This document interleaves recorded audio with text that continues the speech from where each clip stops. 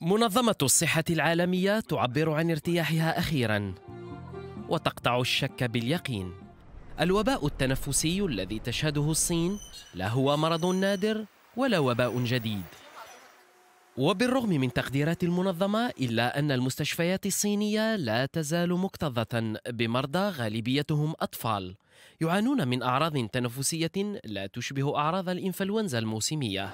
وأمام مشهد يشبه بداية انتشار فيروس كورونا طالبت منظمة الصحة العالمية معلومات إضافية من الصين التي لا تزال التحقيقات حول انتهاجها تعتيما ممنهجا على انتشار كورونا لم تثمر نتائجها النهائية.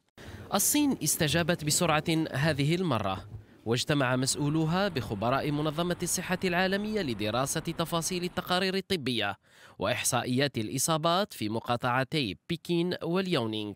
تحرك منظمة الصحة العالمية جاء بعد ضجة أحدثها تقرير للتلفزيون التايواني. تحدث فيها عن خروج الأوضاع عن السيطرة في بكين جراء انتشار عدوى غريبة تصيب الأطفال تحديداً.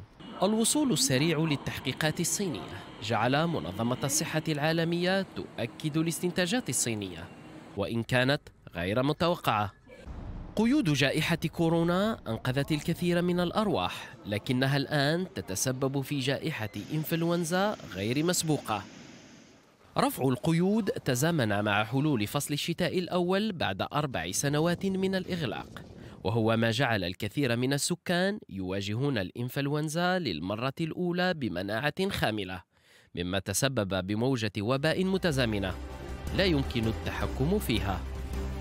لمتابعة المزيد من الأخبار والبرامج والقصص الإنسانية والوثائقيات والتقارير الإخبارية.